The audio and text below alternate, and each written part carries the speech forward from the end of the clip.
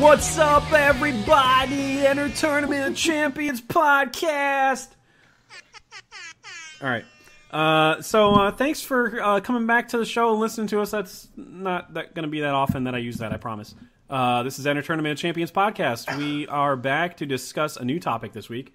Uh, we're talking about sci-fi movies, uh, where all three of us, all three of us, came up with our own separate top ten lists that we're going to reveal individually, one by one. And uh, I'm Jeff speaking over here. I'm joined by JD. Hi. Yeah, whatever. And uh, you got fucking, uh, you know, you got Kyle over there too. Yeah. Yeah, all right. Uh, uh, so this episode, like I said, it's just top tens and um, anything that I might, you know, if I have one at ten and one of you has it at five, we're gonna we're gonna do the push it from uh, Salt-N-Pepa, and we're gonna push that exactly. We're gonna push that down to a little bit later in our list so we can all talk about it at the same time instead of you know risking repeating ourselves or whatever. Um, so anyway, in this episode is brought to you by. No, I'm just kidding. We don't do that. Um, so this in this episode, uh, starting us off at number ten is JD. Ooh, Oh man. Ooh. Thank you. ooh, Thank you. ooh. I don't know why I'm Um, doing that. I'm sorry. I'm honored. Um, Honored? man, I, I'm honored. Honer boners going on. Honerd over here. bonerd. Um, I struggled with this number ten spot because as you were talking pre uh, pre recording, how many fucking great movies are there in this genre that you Too could many. easily justify being in a top ten? Yeah. Um, so I I debated a lot, but I ended up putting Primer there. Hmm. Um, that's um, it's one that I haven't seen in a long time, and I I'm pretty sure I've only seen it twice. Um, but And you doing, comprehended it, okay? well, uh, I don't know about that. Um, eh, that's that's a fucking mind fuck of a movie. it's, um, but I mean the the fact that it did it it did so much of that that mind fucking, and I'm assuming that I mean was that an indie film? yeah. I don't think that was, like, seven thousand dollar budget. budget. Yes, absolutely. Jesus it's an indie film. Christ. um, I mean, it's it's just impressive all the way around. Yeah. Uh, and, and I think I'm going to watch that tonight, actually, because that's that's the most excited I am of all the movies on this list. Oh, nice! again. They filmed it here in Dallas. Um, and Really? Yeah, they did. And the seven thousand dollars skeleton crew of five people. Uh, Shane Carruth directed, wrote, starred in it, produced it. He did everything, and they debuted at That's Sundance awesome. in 2004. Um, it gained a cult following, obviously, because you know it's a really complex movie about time travel. Uh, It's like one of the most complex movies on time travel. Like the science behind it, you know, it adds. Yeah. It focuses on the science part of the sci-fi um, instead of it just being like, "Well, time travel's fucking stupid, right?" Yeah. Let's do whatever. How, how zany is this device that we just got? right. Don't step on any butterflies, bro. And after you watch it, there's a really, really helpful diagram on Wikipedia that really helped me comprehend this movie because it is crazy. Didn't make my ten. I love the movie. If Yeah, this didn't make my ten, imagine what my ten is. yeah, I was gonna say you really beat the drum for this movie for like Yeah, last two this years. movie's so fucking if this didn't amazing. Make your ten. Yeah, it's I great. have no idea what to expect. So Uh, but it's great though because yeah, they have this diagram of like how they uh, time traveled and which versions of themselves are interacting with characters at certain points in the movie because they don't really ex- fully explain it to you. There's a lot of talking in this movie, man. You really have to pay attention. Um, Cool. I Can't know. wait to rewatch oh, oh boy. yeah, I'm definitely gonna watch. it. I'm glad. it. Is it uh, is it still on Netflix? That's where I think I I, watched. yeah, it for that's where I watched first it the first few times. It's a movie that's like 70 minutes, so like if you finish it, it's like, well, let's just fucking start it back up again because Wow, that's such a complex movie and so long. Wow. Yeah. So short. yeah, exactly. Uh, it's not on Netflix anymore. God damn it! Oh man. It was for a long time. Like even Shane Carruth's other movie, Upstream Color. Nothing is on Netflix anymore. I know it's all leaving. It's fucking bullshit. Uh, next up is Kyle. Oh, Kyle, hello. I had a lot of problems with my 10 spot, man. Uh, I could have put so many things there. Um, you know, uh, putting something super iconic there, putting something that maybe needed a little more love, putting something that I personally loved, uh, and I ended up with Predestination. Oh, nice. Um, it's a newer sci-fi movie that I, I've really enjoyed, and I remember when you and I saw this movie, Jeff, not together, but just in general, yeah. uh, we talked about this movie for months. I mean, Yes. just like just lingering and lingering and lingering in the back of my head for the longest time. Um, so why I may have bumped something more iconic, which I won't spoil just because I think everyone's going to be expecting you know certain movies to be on our list, and I want to, I want them to be very upset by the time the lists are over.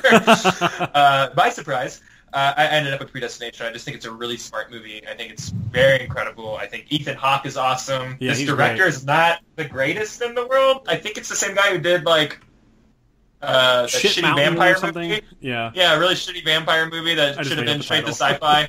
uh, and like this movie's really fucking good and incredibly smart. And what happened to that girl that we said was going to have an amazing career after that movie?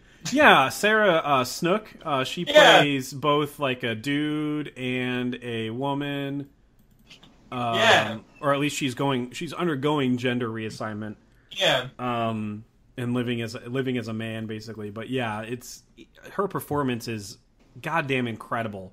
yeah. and there's yeah, should- even on Wikipedia be- again, there's a long ass timeline of things because it's a it's a crazy ass time time travel movie. It is, yeah. It's very complex. Like it's another Yeah. really just complex movie where you're just like really racking your brain over just wait, is this a plot hole? No, it's not because this is happening. Oh, and you're just like, oh, it's really, really, really good. A movie Yeah. that can make me think about it for so long past its uh, credits rolling. You know, get those are the movies that stick with me. Oh my this God. movie really stuck with me. Yeah, same here. These directors did Daybreakers. That was the shitty. Daybreakers, that's Yeah. what I was thinking of. Yep. Ethan Hawke did that one too, huh? Yep. Huh. Yep. And they're doing Cool. the shitty Jigsaw movie coming out. Cool, good for Yeah. Jigsaw. Uh, so that goes to my number ten. Uh, this is this is another. It's another. We all chose mindfuck movies as number ten. Uh, my number ten is Coherence.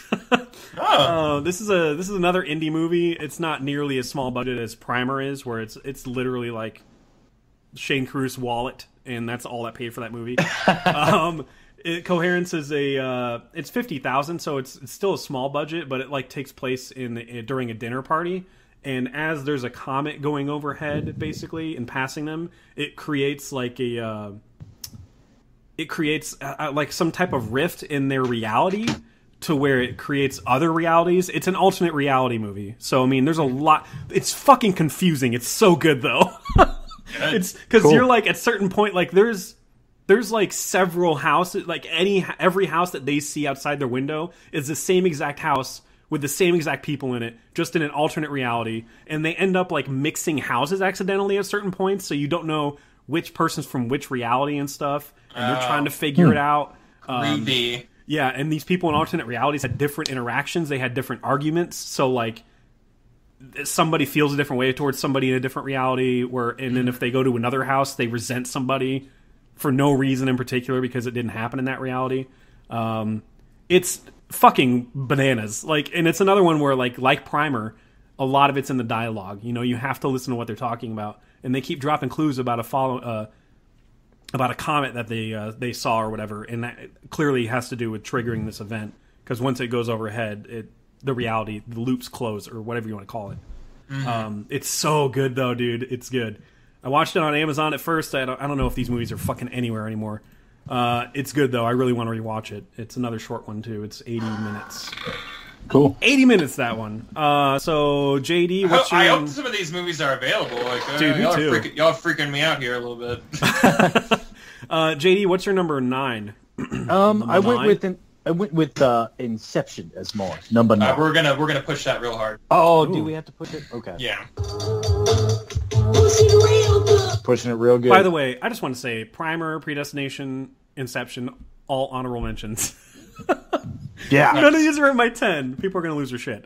All right, so I'm uh, losing my shit quietly inside about Inception, but that's okay. I'll, I'm gonna be very quiet about it. Kyle, what is your number nine? Uh, my number nine is a little Joss Whedon romp called Serenity. Never heard of it. Oh, cool. Um, yeah, I really like this movie quite a bit. Love Firefly, love this movie. Uh, I think this movie stands on its own also because I know a lot of people whose entry into the series was this movie, Mhm. and they're like, "Oh, there's a TV show." Uh, so uh, you know, I think it's really good. A lot of really Yeah. memorable moments. Really memorable bad guy. Super memorable bad guy. Oh yeah, Uh, and Nate Fillion is the most charming man on the face of the planet.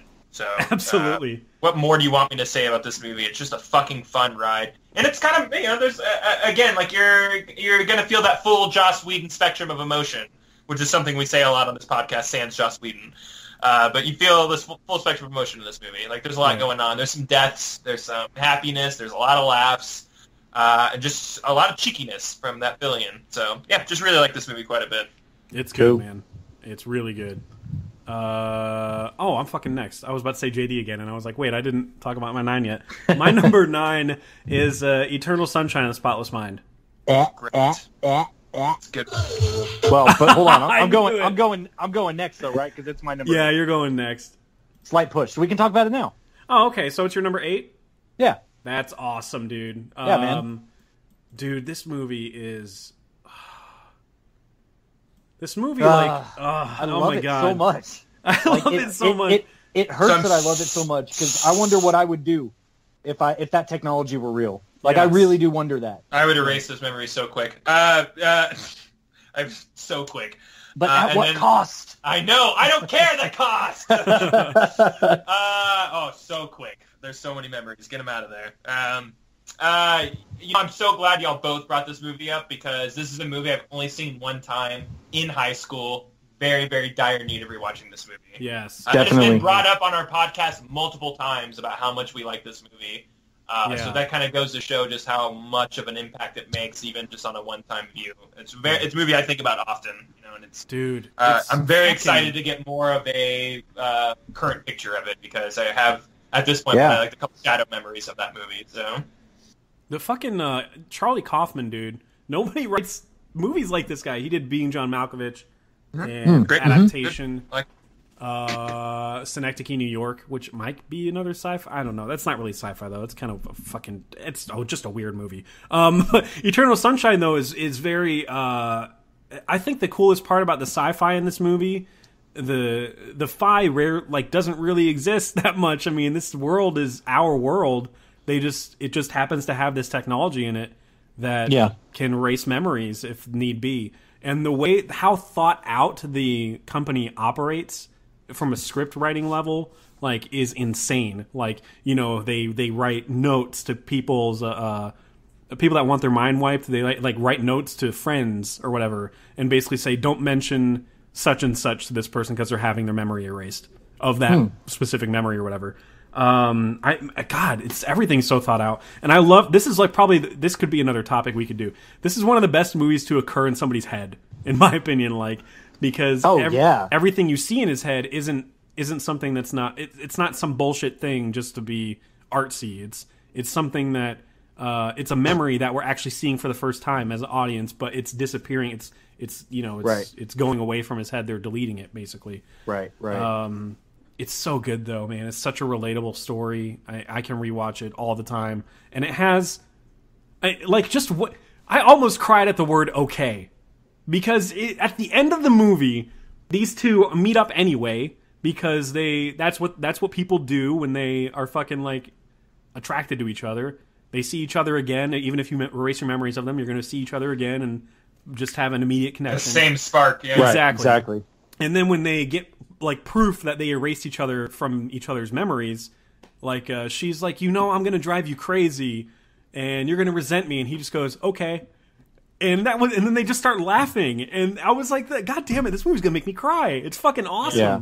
Oh yeah. Uh, it's just so great. There's so much like there that's not said that just I don't know. It just really clicks, man. Just fucking just go all out. Make the same mistakes.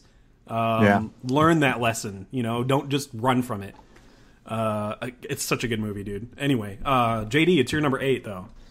Yeah, um, this this one, I mean, I, I didn't watch it when it first came out. I think I Me watched neither, it yeah. several years after it first came out, and um, I don't know. It, it was it was weird for me seeing Jim Carrey in a more dramatic role. Yeah, he's Um, super subdued in this movie. for sure. But it, it works. Like I, I really don't think that you could have put many other actors in that role and had it be believable because he just he fits that character so well. He does. Um, yeah, and, and Kate Winslet with blue hair is looking pretty good too. yeah, oh she's yeah. the OG. Uh, I have it's a- what it I have a feels like is she's the OG. Uh, she's like the OG. Uh, uh, what's her name? Um, Ramona Flowers a little bit. Oh, Ramona Yeah. Flowers. Oh, yeah. she totally. changes her hair the entire movie. Like Totally. that's she's a Yeah. free spirit, quote unquote, and uh, she's great. She's great. Yeah. She's great. And She's really even- good in that movie. Even the uh, the peripheral roles, it's what Elijah Wood and Kirsten Mm-hmm. Dunst.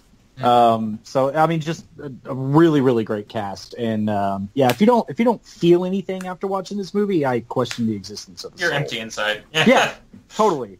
You've deleted all your memories already. Sorry. Right. You're me because Um, I would have yeah. deleted all my memories. I 100%. hope you. Uh, I, I hope you get uh, more out of it out of after a recent rewatch. I will. I Yeah, think dude, it's you'll gonna get so much out of it. That 30 year old Kyle is gonna like way more than 20 year old Kyle did. For I, sure. It's it's been at least probably three or four years for me, so I can't wait to It's- it's probably- this too. 10 or 11. Like that movie came out when we were in high school. I think. Yeah, it did. 2000 2004. 2004. Yeah. Yeah, that sounds right. I saw it in 2005 probably. So. Yeah. Like when it was on DVD or on MTV or whatever, you know. Yeah. Yeah. I hear you. Uh, Kyle, what's your number eight? Did we do his number nine? His number eight, JD's number eight. That is was my Eternal number eight. Oh, okay. Uh, did we ever get JD's number nine though? Yeah, Inception. Yeah, it was Inception. You pushed it. Oh, I did push it. You're so right. Okay, I'm I'm lost. I'm lost over here. I'm in the weeds. Um, let's see. My number eight is Ex Machina. Oh my X- god, X- we are pushing uh, that shit. Jesus Christ. Good. I'm glad. Same I'm same glad, piece. I'm glad it's being pushed. Yeah. It is pronounced Machina. You are correct though. Uh, Yeah. does that lead us to somebody? I don't know anymore. I think it's your your number. Uh, oh, my number eight. Oh, okay. Yeah. My number eight's a recent one. Yay, recent ones. It's Arrival. Oh, cool. No, Cool. nobody yeah. even. All right, Man, fuck you I, guys. I, I, I, want, I wanted to. That was one of those. Uh, I love that movie. For the I love that spot. movie super hard. Not making my ten. Love it so much. Not my ten. so, like one of the smartest movies in the last. Like seriously, I'm like I, I could Yeah. heat praise on that movie all day because we have and we did. Yeah, we Uh, sure God, did. Yeah, but it was it was going up against a lot of classics, which that's what it, that's what's hard about new movies. How do you how do you know how you feel about it if it's only been out like six months? You Right. know, True. you know, like True. you're you're you're you're like judging it against like year movies that you've loved for 10, 20 Right. years, like, you know, against you know a movie that you've known for six months. So right. that's that's Or the they only have an reason established that- legacy or whatever. Uh, Ah, I- thank it's you. just That's that's the short term I was looking Yeah. for. Yeah. I'm more or less. It's about movies that stick with me after I see them, like long after I see them. And Arrival, I just rewatched it last night, by the way. Arrival has stuck with me since I the first time I saw it, and Yeah. uh, how like it's just one of the most relevant. This is what sci-fi can do. I swear to God, it's crazy. Uh, it's just one of the most relevant movies ever made, even though it's like the least plausible situation of our lifetime. Uh, I mean, that's just me being pessimistic, I guess. Um, Yeah. We're not going to see those fucking aliens. No. They're going to be like, "Who's their president?" No, let's fucking get out of here. Is that a reality star? Like, let's get let's get the fuck out of here. Uh, anyway, um, anyway, uh, sorry for getting political. Anyway, uh, anyway, anyway, anyway, anyway, anyway. So, Arrival. the focus on language was not something I went into the movie really expecting. Like I knew it was kind of like uh, from the trailers, you kind of figure that aliens arrive and you're just trying to figure out their motives. But it had so much to do with like the the nuance and stuff in language and how we talk to each other and how we perceive how we talk to each other. Where you know Yeah.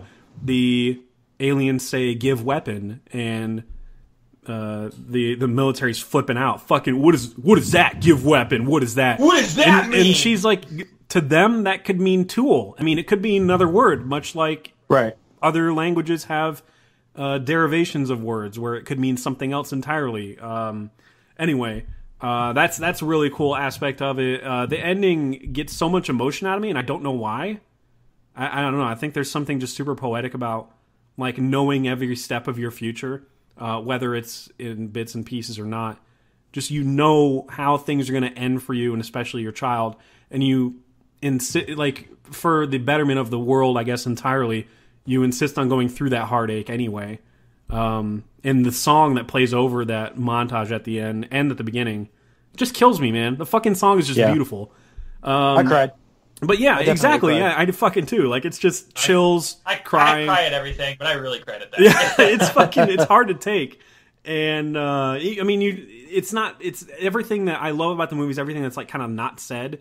In in that, Yeah. like uh, they, the reason that she ends up keeping or or having her kid is like when she tell, tells her kid, um, when she's at a very young age, so her kid's not going to remember it. When she's like, "You're going to do so many great things in life. You're going to you're going to swim and do this and that," because she knows all these things are true. And what if she deprived the world of the, of this person? Like what what type of butterfly effect is that going to set off? You know, like Yeah. what else is what's it going to ruin basically? So she feels like she has to go through with it. um, in, for the Despite betterment of the world, basically. end game. Yeah. Yeah. She doesn't want to break anything in a pattern or whatever. Um, but even then, I'm still questioning like, what? It's kind of like a chicken or the egg scenario. What came first? Did she already decide this? Is- The future that she's seeing is already decided. Like she's made these decisions. She can see her kid. She's gonna do this anyway. Yeah. Uh, so I just find that very fascinating too. Like because I'm always debating this movie like internally. like yeah. It's that movie that I catch myself the most recommending to people. Yeah. Like, oh, what movie should I watch? You see Arrival yet? No, that one. that, there you go. Boom. It arrived. You know, that, that's that's it's seriously, it's the one that like uh, in my mind most recently that I've, I've been recommending Yeah. a lot all year. You know, ever since it's come out. I love hearing that. That's awesome. Uh, J to the Dizzle. Uh, what's your number seven? Yo. I don't know. I don't know if we're pushing this one or not, but it's uh, it's an old Tom Cruise classic, Minority Report. Yeah, we're pushing that. Okay. God, guys, y'all are giving me. You guys are giving me Sweet. so much homework. I hate it. Uh, Oh. You've, you've never seen Minority Report? I got to be honest, and I know you're gonna hate me. It never fucking Wow. seemed interesting to me. It just never, it never appealed. Wow. You know. But Man. I guess we're gonna find out if I like it or not in two This short kills me. weeks. This kills me. I mean, you can. I'm sure you can find things to pick apart in it. It's been Oh, a while since sure. I watched it. Maybe But, I don't uh, know. Like I'm not gonna go into it with that mentality. yeah. Uh, but uh, I've definitely have had zero interest in my entire life to see this movie. So Man, that's y'all are crazy. definitely forcing my hand. Yeah. Sweet. it's pretty crazy. Man, that's a it's a great fun Philip movie. K. We'll Dick talk, story too. Talk about it later. And I love Philip K. Dick. Like everything that this movie probably stands for are things that I enjoy. Mhm. I just, man, I just, I don't know. you love Dick. Uh, so I love, dude, I love some some f dick. You know, full dick. uh, so uh, Kyle, what is your number seven? Um, I have to pull up my list. I'm sorry. We unbelievable. might we might be pushing this Interstellar. Yeah, we're pushing. Oh yeah, yeah. Pushing it through a wormhole real quick. good, All good. I'm gonna push that big wormhole. I don't know how Push that through these things are so high with with the things that I know that y'all. I don't know. I'm, s- I can't. I'm excited to see how y'all list shake out because I'm a these movies. I, I feel bad for being so low on my list. Ex Machina and Interstellar, but Yeah. like the movies that are ahead of it are like no doubt to me. So I don't know. Yeah. We'll see. Uh, I mean, we're splitting hairs. This genre is so ripe. I mean, That's true. This this could be one where a lower dirt. seed actually pushes through and, and, and wins. Maybe, I think Maybe. so It too. could Probably- be, yeah. This is going to be such a good bracket. Holy I shit! but it'll be the. It, I think it'll be the best debating from top to bottom. Like one versus sixteen is not going to be a throwaway. I don't think. no, I don't think so either. No, I There's don't think no so. Don't think fucking so way. either. Yeah, I think this. God, that's this is gonna be a rough one. Yeah, it's gonna be Uh-huh. super rough. See, let's talk about how low this movie is, even though it's amazing. Number seven for me is probably a push. It's her. Yeah, push that. Are you kidding me? Hold on. Y'all cut out. Are there. you I kidding me? you. uh, he said her, and I got very upset because we're pushing that. Unbelievable. What's with everybody's cues being so Okay. late? We're off our game. I, I don't. I don't like it. No, I couldn't. I couldn't hear any of that. Like all I got was. Yeah, you're you're cutting out for me just a little bit before this, but as long as maybe maybe my cell phone signal. It might be, I'm holding up my cell phone right next to my microphone too, so I'm thinking that's probably not helping. Oh, weird. yeah, I'll keep it away. He might be dropping. I don't know. Hello. Yeah, we're Yeah. we're here. Damn. I don't know. Are you cut? Are you cutting out bad? Are we cutting Well, out bad? I, I think it's me because I, I tried to get off Wi-Fi and that didn't work out very well. um, so what what did you pick? I didn't even hear what you picked. Her. Oh, okay, cool. Yeah, My biggest homework assignment for this for sure, and y'all's two tens. so excited Yeah. for you to see that movie.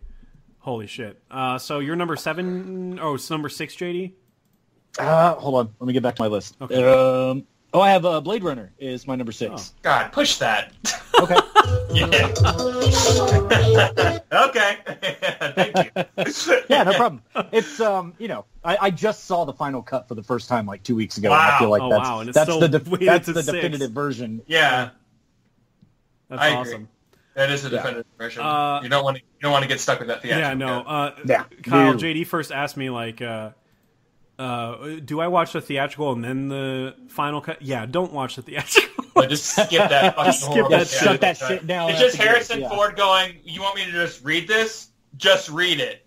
Okay, I'm gonna read it, and just reads whatever the fuck he's. Uh, and that's when I knew that the replicants were here on Earth. Oh, you know, oh, it's so bad. So how how prevalent are those uh, voiceovers? Are they throughout the entire film or in like the just? entire film? Oh, cool. Oh God. Oh. Yeah. Awesome. It's just layered on there. The entire. It's really. It, bad. it, it annoys me in principle because the final cut is so good. Like I don't know why anybody and- would have done that. and it like spells out a lot of things that are supposed to not be spelled out, and I'm like, God, this movie is just like. And I saw the director's cut first, so going back to the theatrical cut, I was like, how why does this even exist? You know, Right. like, they should just burn every copy of this. Uh, it's not like anybody. It's not like the Star Wars original edition. No one longs to see the original edition of of Blade Runner. Like we could just put those in a landfill ET style and just bury them. Yeah, I haven't talked Totally. to any like one person that's super like sad about the theatrical not being looked at as fondly or whatever. Yeah, no, I don't think anyone has that stance. And if you do, step forward. Right. so we can uh, proceed to punch you in the face repeatedly. Um, Study you, punch you. number six for Kyle. Uh, I know it's gonna get pushed. 2001: A Space Odyssey. What the fuck? Yeah. Is, why is this shit? Yeah, I know, so I know, I know. I'm so sorry. I feel Fine. bad. I feel really bad about that It's one. fine. so- I feel bad about this one because I think we've swapped our one and six. My number six is Blade Runner. God damn it! That's funny. Oh my god. All right, so JD, what's your number five? Dude, this Push is that- just fucking. Push that this- out of a plane. It's so bad. This is uh, Push a Palooza is what I'm calling it because my Push number five is 2001. All oh man. All right. Whatever. That's fine. Jesus Christ. It's a quintessential. Never mind. We're not going to talk about it. All right. So, I know, dude. I know. You don't have to. so Kyle, I, what's That's for the I- tournament. I, I, I put it above Interstellar, and that should make people happy. Okay. That's true. I didn't. Oh goddamn, JD didn't. There'd be no, No. goddamn Interstellar without 2001. You piece of you piece I of know. I, shit. I didn't. I, I didn't want to hear that. So that's why I put it above. I'm like, I don't even want to hear this from Jeff. So. um. So Kyle, what's your number five? Uh, we pushed it earlier, so we don't have to push it now. It's her. Oh, okay, cool. Okay, cool. Her. I assume it's JD's Uh, number one. So It is my number No, one. I'm that kidding. movie I've never seen and have admitted. I as just such. really want to Yeah, see it's it. great. Like it. I just Yeah. yeah, it's just it's just so exciting. I just know I'm gonna love it. Jeff, you watched this movie really recently. Oh yeah, I watched it last night. Uh, this movie wrecks me. Yes. this movie chews me up into like a little ball and spits me out and just goes there. That's what love is. And I'm like, yeah, that's pretty much what it is. um, uh, movie is so moving in every way, and there is so much world building in this movie. Yeah. Even the job that he works for is not of this world. Yeah, I know. He writes like cards for other people that can't write for themselves. You know, Right. like I, mean, I, I don't even understand the complexities of, of what he does, but you know, like it's uh, it's just a weird movie with just like so like there's no denim, like people in, in the future don't wear Right. jeans, you Yeah. know, like you know, like stuff like that. There's no cars, like every scene that you see, Yeah, he's walking all the time. Yeah. yeah, it's walking. They're walking on uh, above like passageways, like or bridges or whatever. You know, maybe there's cars underneath there, but like you never see cars in this movie. It's just there's a lot of really cool world building in this movie, and Chris Pratt's in it for whatever reason. Yeah, I know, right? Yeah, And Olivia Wilde for two seconds. Oh, whole seconds. Yeah, um, good for her. anyway, just just her whole existence. Good for her. Um, yeah, I really love this movie, man. And it's and uh, ScarJo uh, robbed. She was robbed. Yeah. 100% robbed. so you were saying that because there's no voiceover category for Yeah. best actor Can't- actress, She can't, win, she can't win Best Actress. She's not there. So, you know. Yeah. Yeah. She only Yeah, did that half the shame. work or whatever. I'm sure that's the mentality that exists. But Yeah, and then people like to point out, well, she wasn't even the person that Joaquin Phoenix was acting off of. I'm like, just fuck that. That makes it more interesting to me. it does. Yeah, that yeah. means- That I she mean, was to able me, to yeah, that's that a better accomplishment. in a vacuum. You know, without you're wrong. So yeah, sorry. Enjoy being wrong. Uh, and- yeah. Uh, Arcade Fire, great fucking soundtrack for this movie. Oh my god, I didn't even Super realize that was them because I never it's listened totally to them. them. Yeah, they're good stuff. Um, if you like that kind of stuff, I don't really like that indie rock type of stuff, but for whatever reason, I like that. Mm-hmm. It was so perfect for whatever. this, like totally. And They're good for this. when they're singing a song to each other, it's uh, everything about it is just so damn sweet. It's like the sweetest love story ever, uh, or it- romance ever. crush- Point crush you. Yeah, exactly.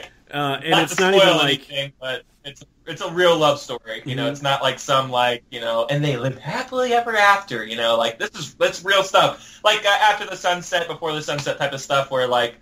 Uh, you know those lovers they're on borrowed time or whatever they're only in each other's presence for you know that little bit of time and uh, it just makes it that much more special and potent and everything Mhm. and um, I don't know this movie is very much a reflection of that type of love story a real love story as I like to call it Right. not one where, know fantasy love story yeah, yeah, it's got one where the real ending. Uh, Yeah. it feels Yeah. authentic, especially to the the world that uh, Spike Yeah. Jonze ends up building for everybody in it. Um, Oh, and the video With the game they technology. this? Oh Sign my me up. God. Oh my god! the video game, I want that video game so bad. Me too. Ugh. What's up, the fucking fuckhead or whatever? Yeah, It's so ridiculous. Yeah. It's so good. Uh, JD, you're gonna love this movie, dude. It's on uh, Cool, I can't HBO wait. is where I watched it. Um, Oh, yesterday. okay, sweet. Yeah, dude, it's so I'll good. get on that. And the dialogue's great, and dialogue is so good. Yeah, Scarlett Johansson. Good luck not picturing her like doing like the movements and stuff as she's talking because she emotes so much through her voice. Um, but not to the point where it's like, oh, she's clearly acting. Like it feels She's like the most- she feels like a real person. It's She's crazy. the realest character in that entire movie, Yeah. and she has no body. Yeah, it's crazy. it's absolutely nuts. Cool, cool. Oh man, I'm excited, man. I've, I've needed an excuse and a push to. Oh, can I say one more that. thing? Uh, it was me and five of my dude friends seeing this movie. These are like my drinking dude friends, not my like we feel good and we talk about our emotions. type of dude. All five of us crying by the end of this movie. Wow. A row of Jesus. rows crying. I'm not crying. You're crying. Why did you take me to this movie? I'm so sorry. You know, like, it was, awesome. it was good. It was good. That good. Jesus. Uh, so my number five could be a push because JD hasn't mentioned it yet. It's uh, it's Murph, Interstellar, Murph. Oh yeah, we're pushing that We're pushing through that wormhole Good. again. I'm so glad. I'm so glad it's so high. Yeah, So glad. I've watched it like way too. I want to watch it. It's a movie that I want to watch right now. Uh, I know. Uh, Uh, 'cause- trailing behind Dark Knight and uh, Prestige, it's the third Nolan movie I've seen the most, and in recent memory, it's the movie I've watched the most out of most recent movies. Like Wow. you know, like even her, I've Yeah, seen yeah, yeah, maybe yeah. twice, maybe, maybe two times. Mad Max, I've seen two or three times. Yeah. I've seen probably Inception like six or seven times now. Yeah. You know, it's a movie I, I watch often. uh, wait, where are we? Number four with JD then? Oh, uh, that's my uh, ex uh, ex machina. Oh, is my Jesus. numero Uh, quattro. we're pushing a little bit, yeah, Good, a little bit, good. little, Little bit, bit. of a push. little, little bit. Get up on this. There's a little push. A little push, Murph. Murph, put push a little bit, Murph. Look at our- Don't let me Look at our place in the stars, Now we're sitting here wondering about our place in the dirt. Uh, in the dirt. In the dirt. uh, Kyle, what's your number four?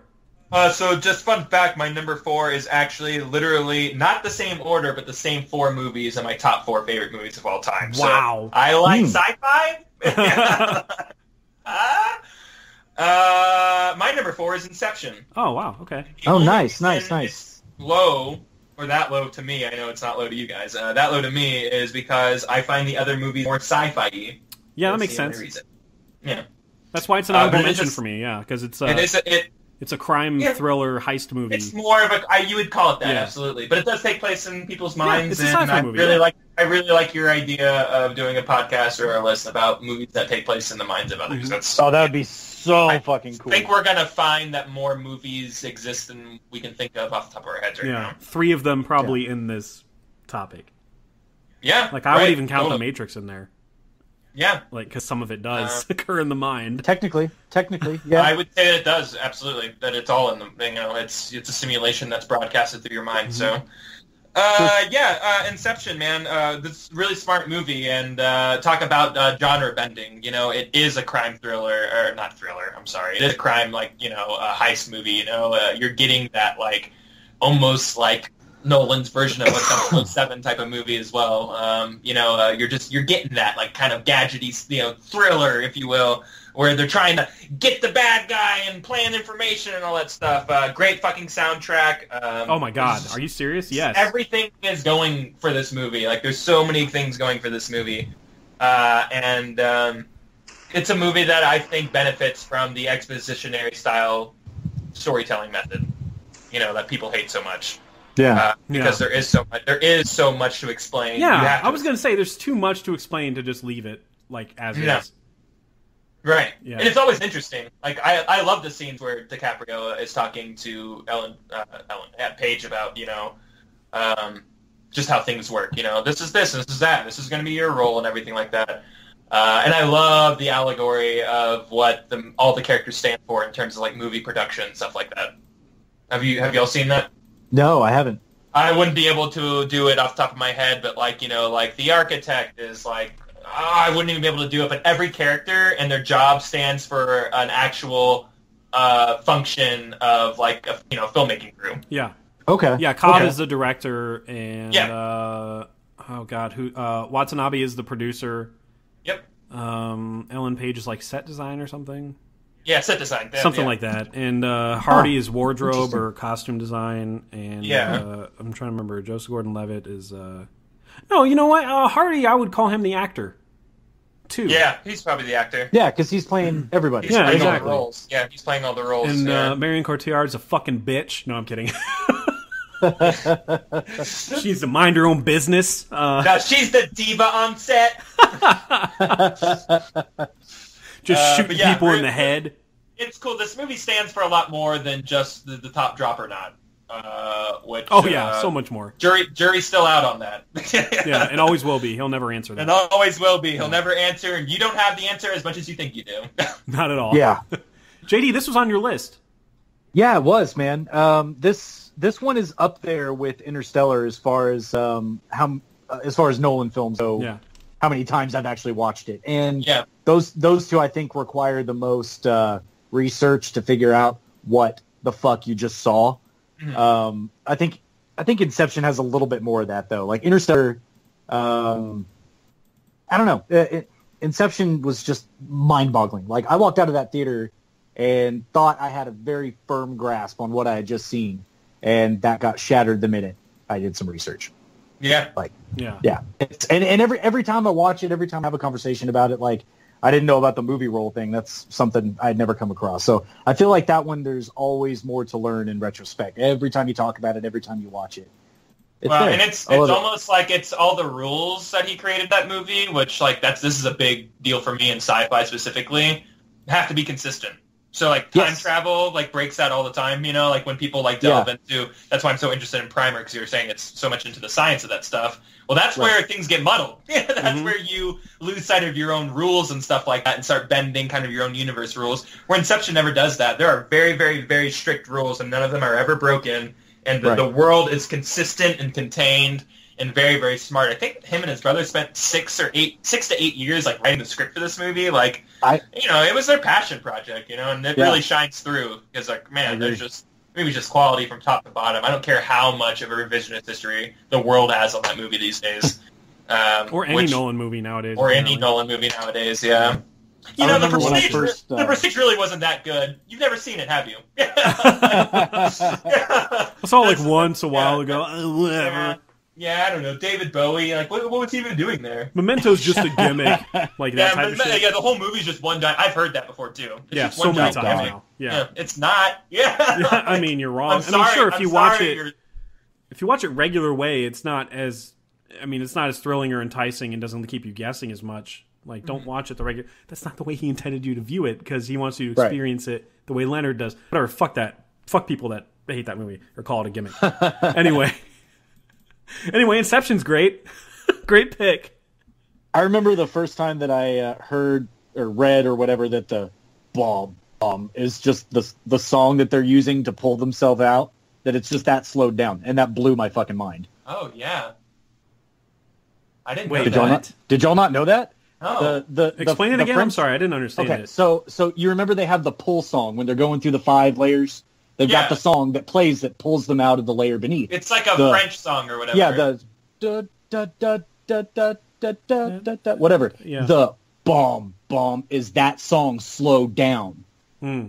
oh, like, se- wow. seriously. Yeah, I never knew that. So so that that's what it would sound like with the the time, you The know, time separation, dilation. the time Yeah. dilation between the different layers. Makes complete sense. That's what it would sound like. So that that song is um is, is throughout the entire movie.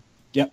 Yeah. wow. Yeah, I never knew that. Y'all, That's y'all great. seriously never came across that? Wow. No. No, I I, I, hadn't that. heard that. Yeah, that's awesome. Um, that Let's makes all the sense in the world actually because of the time shift. Uh, Yeah. Exactly. Exactly. I was gonna say something else about Inception, and then we'll move on. Uh, the I've never been like moved to tears like seen seven years later watching the movie just from the song itself at the end. I'm not even. Time. It's not time. time. from Hans Zimmer. Yeah, it's Yeah. the best song he's ever done. Period. Period. Like just Yeah. period. just period. Even considering Oingo Boingo, song. whatever the fuck he did before. Like, sorry. Boy, no. yeah, I'm pretty sure he was part of that band. Uh, but like, Was. it's seriously just like from start to finish. It's so emotional and it takes you on a ride. And I'm getting chills talking about it. But like, it's not even like a thing that. Um, it's not like the actions that inspire so much emotion out of me so much because I know what happens. I know the story beats. It's the goddamn music, man. Yeah. Packs a Yeah. punch. I mean, and then I- it leaves uh, you hanging at the end with just the and I- piano. Oh, and, the man. use of, and the use of music and sometimes the lack thereof really elevates scenes like the scene where the train comes through the city there's no out of music nowhere, yeah. there's It's no music sound so when it design, when it slams into something it startles the shit out of you by Yeah. design because a train just popped up in the middle of the city you know it's not Right. it's not supposed to be alarming you know uh, yeah God, what a brilliant movie So good. Oh my god, so good. Uh, great pick. I just, um, man, the sci-fi element of it is so goddamn seamless. It's just like crazy. Uh, yeah It should have made my list. I don't know what the fuck. What the fuck ever. Nobody would have talked about coherence if I didn't put it in my list. Anyway, True. anyway, my number four. Here we go. It's Minority Report. It's that Ah. high on my list. wow that high Cool, dude. Wow. Yes, it's What? that fucking good too. Um, this is like honestly, if we were ranking Spielberg movies, I might even have it up there, top three. Um, this the year that Minority Report came out, uh, this movie was in post production. What did Spielberg do? He does what he always does. He does two movies in one year. Catch Me If You Can came out this year. Two of his What? best fucking movies came Oh, out in the same year. Uh, yes, I called them his best movies. Like Catch Me If You Can is like perfection That's- to me. Like That's one of my all-time favorites for Oh, sure. Oh, dude, Uh, no, without question. Um, I, there's others I've seen more that hold more sentimental value, like Jurassic Park, obviously, um, Yeah. and Minority Report. I mean, I've just seen I've seen Minority Report probably the most out of all Spielberg movies, if I'm being honest. I remember Um, seeing it in the theater like two or three times. I saw it once with friends, once with my dad. Uh, it was one of those movies that appealed to a lot of people. Yeah. I just remember like being Blockbuster. Of course, I got it there, and then I wouldn't stop watching. There was like a week or so I wouldn't stop fucking watching it like every day because I picked up new shit from it every day. It was crazy. Yeah. Um, But yeah, there's so much like I mean I know it's the Philip K. Dick uh, story telling you what the world is, but it still wouldn't have worked without Spielberg's eye. I mean, he's the one giving it the specifically blue, uh, uh, overly yeah. That, bright that colors. Tint, yeah. Um, that uh, it seems like a dark world. It's like his darkest world that he films. Honestly, I mean, outside of like you know Schindler's List, um, because that's obviously a dark fucking world. But uh, Yeah. in terms of like everything's just so like without color completely. Um, he he dials back the color grading and and makes everything super bright because it's. I mean, it's supposed to be like this dark fucking world um, where people can predict your crimes and whether Yeah. or not you end up going through with the crime doesn't fucking matter. If you had the intent you're under arrest and you're Yeah. put away for pretty much forever in like some type of field or whatever the fuck you want to call it. Similar to the matrix you know? It's kind of like a just a field of bodies of people just mind wiped and watching tv or whatever Right. um, just chilling there. Um, yeah the movie might go on a little long. There's some people that kind of bitched about that. I remember that even to date people still kind of do that where it's like oh it didn't need that uh, uh, third act or whatever. But it was it was a noir like it was a noir crime mystery movie. Like we still had this crime the murder of Anne Lively that hadn't been solved yet. If the movie just ended we would have been like well, what the fuck? You know? Right. like so it needed Right. to have a resolution there. And uh, the minority report being a uh, the title is um, originated from when one of the twins or whatever or not one of the twins one of the three precogs uh, Yeah. when they have a fucked up like when they misinterpret one of their dreams as actually somebody committing a crime that's a minority report like when when one of their dreams don't come true basically um, so like tom cruise for example he's on he's being framed allegedly i guess to go kill this guy leo crow who based on the vision seems like the guy that killed his his son uh, and he has you know it's all about choice you know you can choose to fulfill the prophecy or you might not even do it you know so there's that whole question of free will versus determinism uh, that this entire movie is a, is a basis of. Um, it's just the definition of sci-fi for me. It's just fucking great. Anyway, Yep. uh, JD, this was on your list at seven, right? Yes, it was. Um, And uh, yeah, I mean, I, I agree. This this might be in the conversation for my favorite Spielberg movie ever. Yeah, Um, actually, I, I hear you but, on that.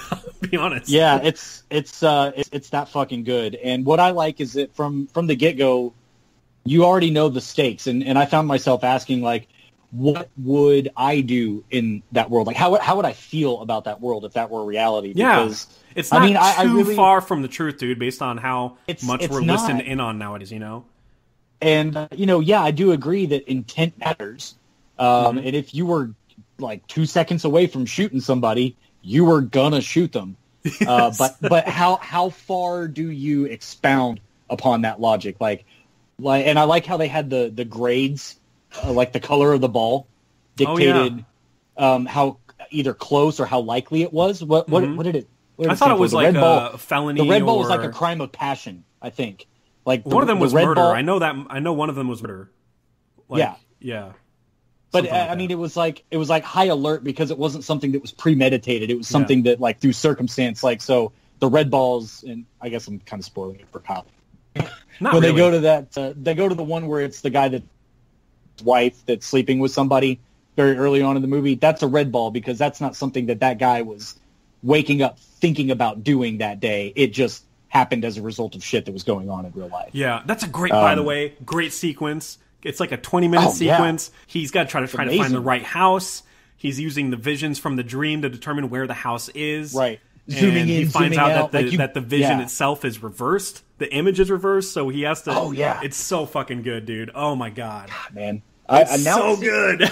We've talked about six movies that after you started talking about them, like, I want to watch that tonight. This is like number seven. it's absolutely, it's on HBO too, Shit. so go watch it, Cool. everybody. Uh, I think Schindler's and Saving Private Ryan are the only ones ahead of Minority Report for me. That's what it looks like based on my rankings. That might be sacrilegious to everybody because you know Jaws, ET, all that shit. But uh, sorry. Yeah, Jaws is sorry to probably Kyle. one for me. Yeah. I just watched Jaws two days ago, and I'm like, this movie's fucking like, god damn it. it's amazing. Uh, yeah, If you're watching it on Blu-ray, also, uh, it looks like it was shot yesterday. it does. Yeah, Oh, it's one cool. of the, it's one of those crazy. movies that like Yeah. kind of like Blade Runner uh, on Blu-ray, where you're Yeah. like, Oh, yeah, yeah. Blade Runner the same way, where you're just like, man, like, I, I thought shit looked dumb like back then. Like, you know, I thought like, yeah, shit looked bad. Yeah. I thought we had bad cameras or whatever. you remember all those videos on VHS we watched as a kid? It's like, this movie's been formatted to fit your screen. It's because it was shot with the same technologies today. We just didn't have televisions capable of Not showing. it. capable of yeah. We had Yeah. the square TVs that looked like Yeah. ass. They had to get it down to that 16 to 4 square ratios. Bullshit. Yeah, whatever. Yeah. Whatever. Fuck that Uh, ratio. but Um, so that was my number four, Minority Report. JD's number three. uh, it's uh, well, Oh no, it's that it's that it's that it's that wormhole movie. let me tell Oh man, I'm so happy it's so high. That's crazy. I'm, I'm yeah, dude, I, yeah. I I love I love this movie. Um, from I think I rewatched it immediately after watching it for the first time. Like, Yeah, I mean, I, I believe that. Um, I saw it three remember- times in theaters. I, yeah, same here. I saw it. I saw it through. I think I saw it twice, but you and I saw it in IMAX and I saw it in regular. Yeah, oh, how was it in Uh, IMAX? it dude, it's unbelievable in. IMAX. Yeah. That Wow. wormhole scene, I might have come. I don't know. I was so Pulled excited. a Pee Wee Herman, did you? The second when they went up into space, I was like, "It is on!" Uh, it was right, awesome. It was it's so a good. super nerdy moment for all of us. Yeah. just like, oh my Oh, yeah. Whoa! Yeah, the wormhole god, yeah, it was one of those. It was because the because the the wormholes ro- constantly rotating. Uh, And in IMAX, that's fucking trippy, dude. Like that is crazy. Yeah. Yeah. It's awesome Man. though. Every everything visually about that movie, and it, it made sense um, on on a base on a basic science level, Oh, JD's cutting out. and all that. You're, you're Oh, cut man. out. Sorry, what were you saying? Um, just about the science and everything, and Yeah. how it's it's simplistic within. They had that real theoretical physicist, or that real wormhole. Yeah, Kip Thorne. Yeah, Yeah, yeah, like like like I mean, th- th- a lot of this stuff is based off of his books and his Mhm. his Right. teaching, knowledge and stuff. So I mean, like it's as science heavy as it can be, science accurate. You know. yeah. And I think you know, I the whole, remember. like, I remember Neil spheres deGrasse. and wormhole uh, made sense. I was going to say, I remember Neil deGrasse Tyson saying something along the lines of, or maybe some other scientist. Uh, he's the only one I know of by name besides Bill Nye.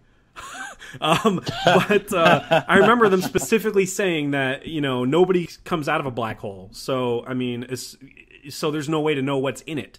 So Yeah. as soon as, as soon as McConaughey went in it, all bets were off. They can tell Well, yeah, whatever story they want to yeah, tell. That's when theoretical physics and science, like kind of, theoretical, like you know, science and stuff like that, kicks in, Mm-hmm. where people have an idea of what happens, but it's all about cherry picking to kind of fit your story. Because Yeah. at that point, Yeah. yeah.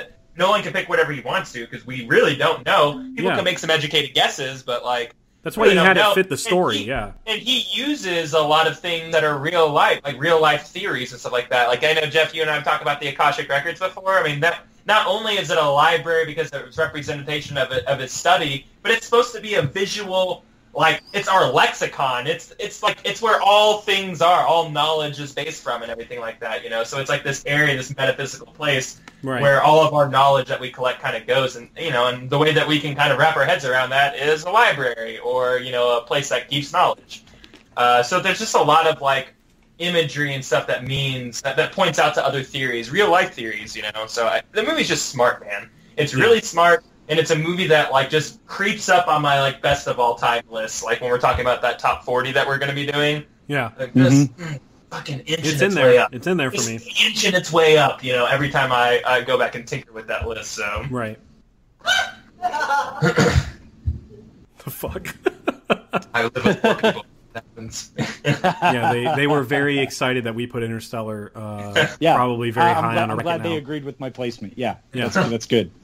Dude, it's. I mean, I know people shit on the uh, uh, love. Really? I I don't know why people get so Well- hung up on that part. I think that I don't. Really, I don't know why Think, either. think about it though. Really Think- smart. I think it's really It's- smart and like kind of true. yeah, like it's, she's got a point. one. You know? It's the one non-tangible thing that every human being can say that they've experienced one way Yeah, or another.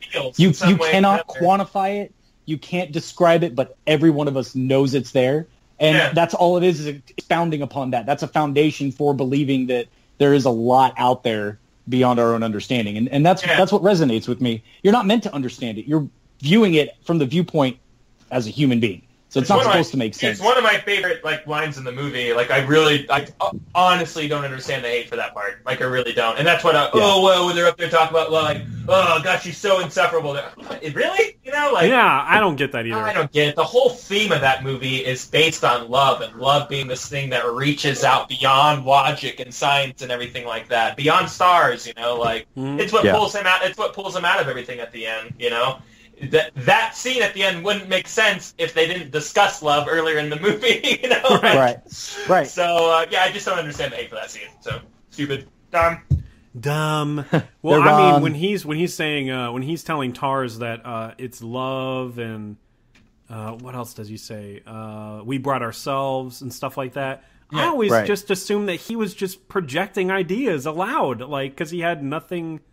I mean, else to go on. Like he's just Yeah. guessing. Like I don't, I don't take what Cooper says as fact Yeah. because he's He a human know. being like we Yeah. are. Right. I mean, he's a flawed person like we are too. Like he made decisions uh, to leave his family, um, whether or not it's for the betterment of humanity. He still had an obligation as a father, and you know And he saw all these videos. By the way, that scene where he's crying watching videos, Oh I can't God. oh man. Yeah, I can't Uh, even with that. Yeah, I can't even with that. He's like with that major shit. sweaty crying too. He's got Yeah, sweat I and know. tears he's, rolling. He's It's like, that oh big, big open mouth crying. I'm like, oh, yeah, God. yeah. And how it goes from You like know- happiness to immediate sadness and regret. yeah. It's Right. all just captured so perfectly. How he was not like recognized for acting in this movie. I mean, just what because of some, I don't know, some He did this. what people call like weird writing issues near the. I don't whatever. Fuck him. I don't know. Yeah, I, I, he did this on the tail of Mud, and I don't understand how people still are like Matthew McConaughey is kind of a joke of an actor. I don't Uh, get no. it either. He's put in some pretty good performances, and you're just blind to In them. the I last guess. few I don't, years, yeah. especially, yeah. yeah, we're in a McConaughey renaissance right now. Have you Maybe- seen Mud? I mean, that shit. I watched that as a throwaway on Netflix one time. It was just like, holy shit. Yeah, guy's he's got really some- great in that movie. Holy Act hell, he's butt great. off. In Dallas Buyers Club, he's great in that too. Yeah. So Kyle, what's your number three? Uh, I I didn't I don't know what your number three is. At all It's Empire Strikes Back. Oh, never never heard of it. Is that a new that? Star Wars. Yeah. Oh, that a- Star Wars. Is that that I- thing that uh? feel like every single top sci-fi list in the history of ever has Star Wars in it. And if we don't have Star Wars on this list, people will fucking lose their minds. It's true. so the fact that neither of y'all have Star Wars on your list is like outrageous to me.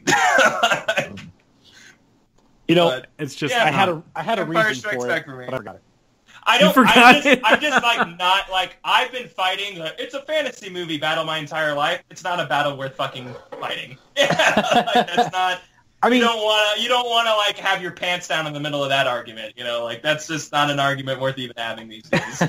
I think Empire is like my number two or three all time. So All time. it's I don't know, man. I just wanted to stick to something non, uh, not super franchisey, even though I guess I, I don't know. well, I mean, it is. I mean, Kyle just said it's a fantasy movie. That's the only reason I didn't put it on here. Yeah. Yeah. Well, it's a fantasy Yeah. movie in the terms of like what it's like context, but it's a it's a sci-fi. You know what I yeah, mean? it's like, sci-fi fantasy, yeah. but Yeah, Yeah. Uh, like, like it's I still said, largely every- like magic every- and Every fantasy. single sci-fi list in the history of lists probably has Star Wars on it. You know, True. I don't think it's I don't think it's far fetched at all to have Star Wars on a sci-fi list. I guess is my No, point. Yeah. I agree. I will forever disagree. I Really? will die. It'll say on my tombstone, "Star Wars is not sci-fi." No, I'm just kidding. It's just not for me. It's not how I defined it in my list. So whatever. Weird.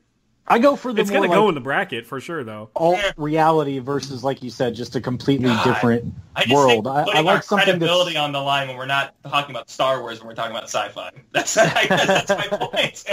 that's my point, I guess. I hear you.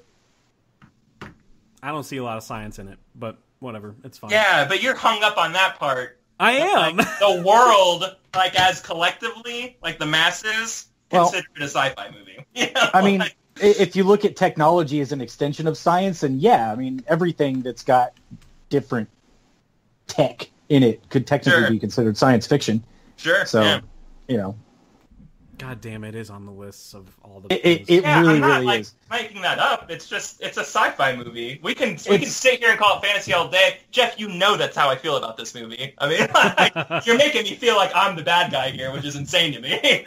Uh, but like you know, like you know, I feel that that's a fantasy movie, but it's on literally every sci-fi list ever, and everybody's composed list in the history of lists. You know, so I'm just like, I got to put it in there. I mean, like you know, that'd Yeah. be fucking dumb to not put it in there. Yeah, I feel dumb now, but Uh, I'm not going by their rules. I'm making my own list. yeah, Not even gonna put it in there. good. I mean, it's gonna go in the bracket, obviously, because Nah, it's fucking not- Star nah, Wars. fuck it. Who cares? Who cares? No, what? What? This is a I'm kidding, mutually agreed upon.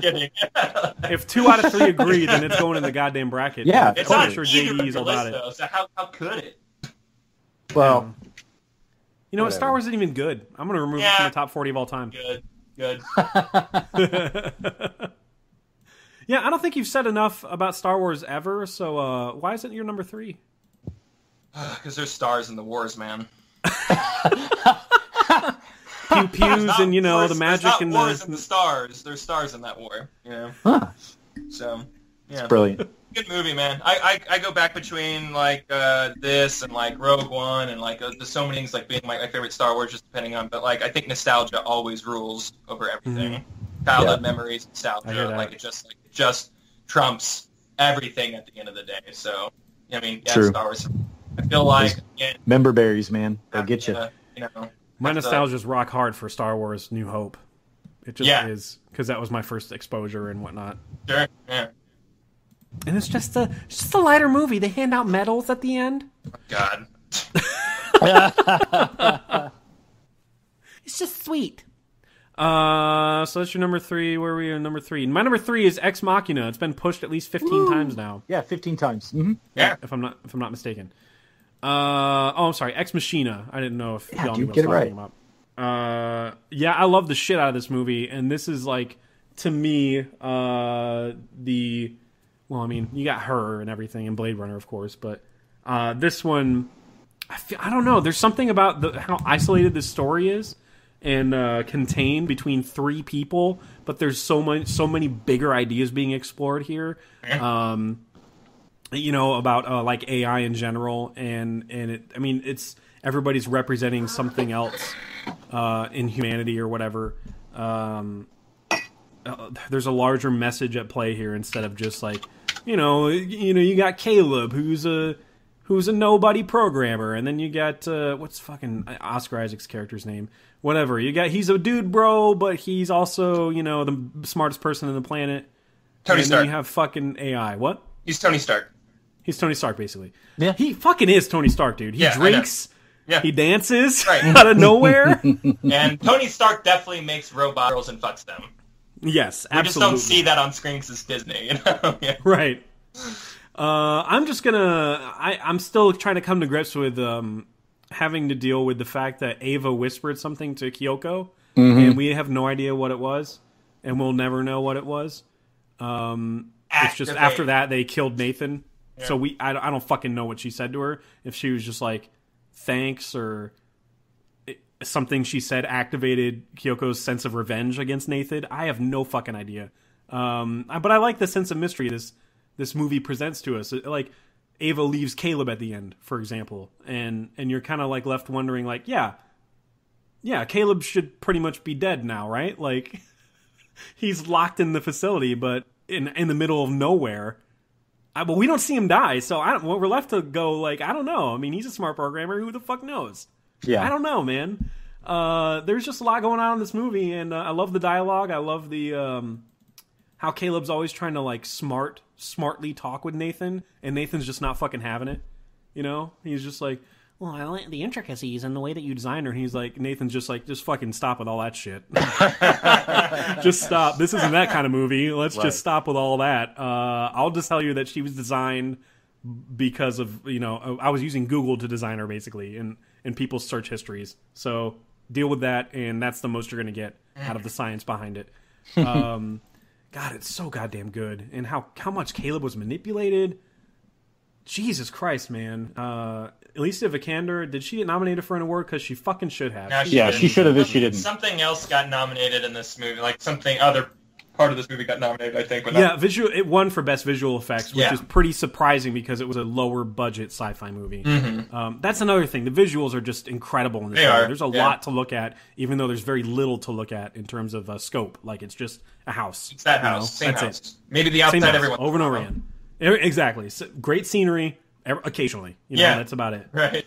Um, yeah, I just love this whole idea. It's like a flawed test from the beginning because Nathan is looking for specific results. He says it's a Turing test, but it's fucking it's all bullshit anyway because looking for a specific result. He knows Ava's going to manipulate Caleb. Uh, the only thing he didn't predict is that Caleb would have any smarts or wits about him at all. Right. um, because he's Nathan, he's egotistical as shit.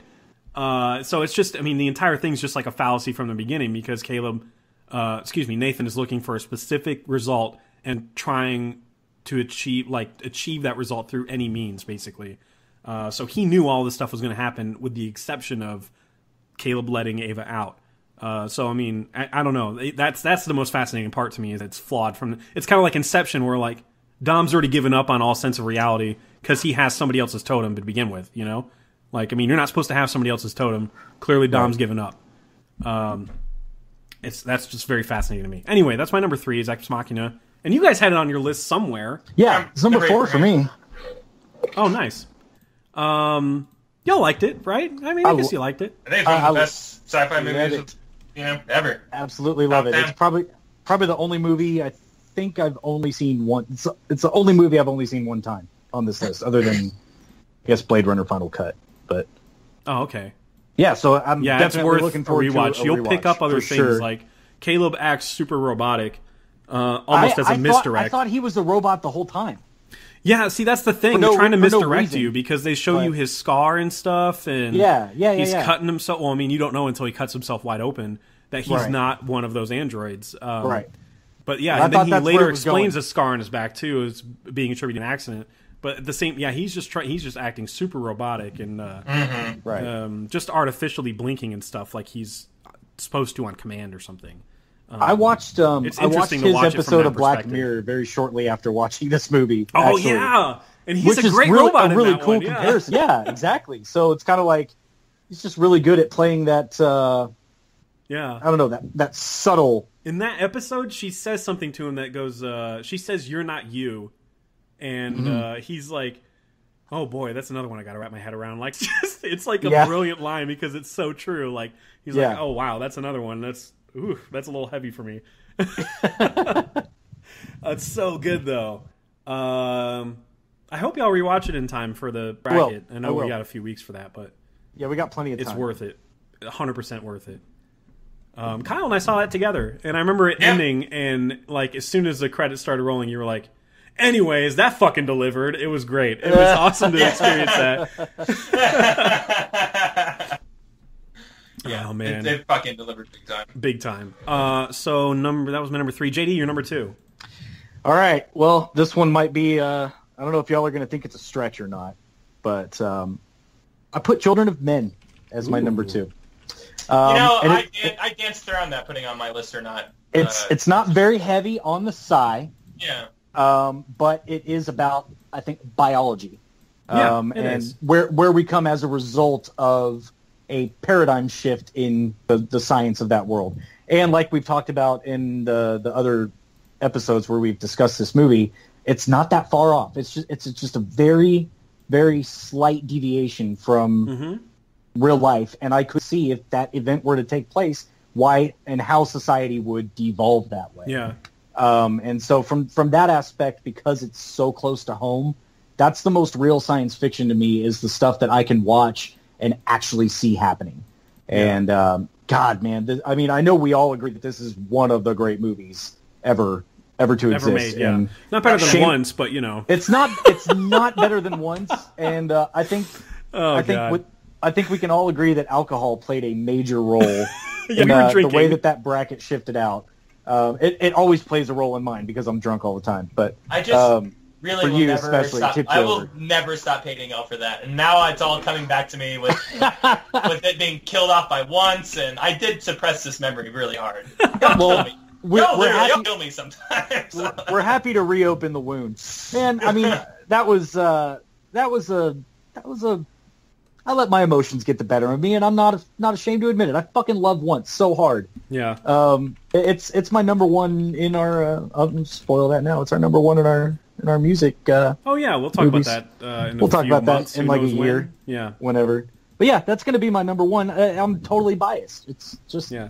such a good movie. Sure. But uh, yeah, Good Children movie to of be biased Men. about. I, I, I, I, think, uh, I think personally anyway.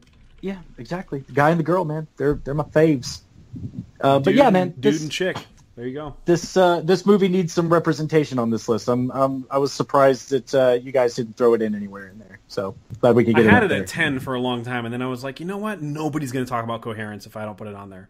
So Yeah, and and you're right. yeah, I mean, yeah, because need it's a small movie. You know what I mean? Like Yeah. it's Right. it's it's one of those really smart predestination primer type movies that needs to be Right. seen. You know, Yeah. um, for sure.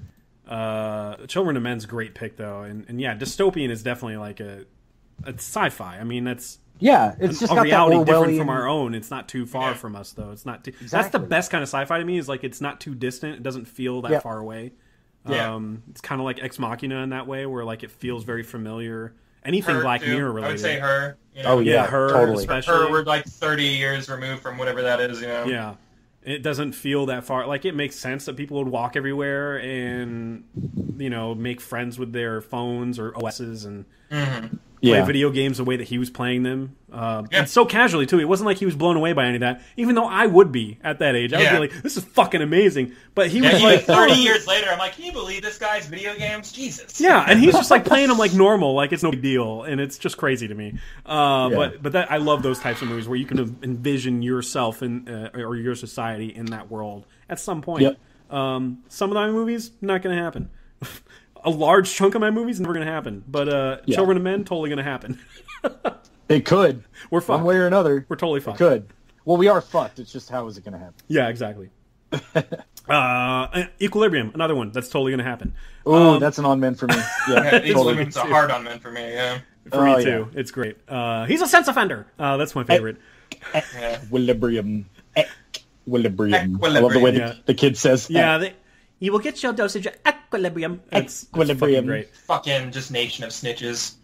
Oh Yep. man, that's a great movie. Uh, so Kyle, you're number two. Uh, yeah, my number two, uh, kind of like in the the vein of Star Wars, not really heavy in the science department. It's very, you know, non-realistic in almost every way, but it's The Matrix. Uh, Oh, you know, cool.